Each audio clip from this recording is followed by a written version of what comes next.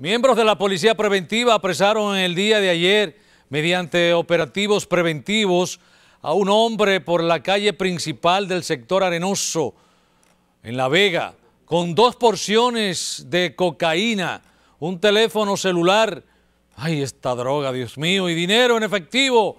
El detenido responde a Jan Carlos Domínguez Marín, de 32 años, residente en ese referido lugar, quien será enviado al departamento correspondiente para los fines legales. El prevenido al momento de ser arrestado, pues se le ocupó la suma de 10 mil pesos, un teléfono celular y la motocicleta marca platina color negro en la que se desplazaba. Hasta esa llevó.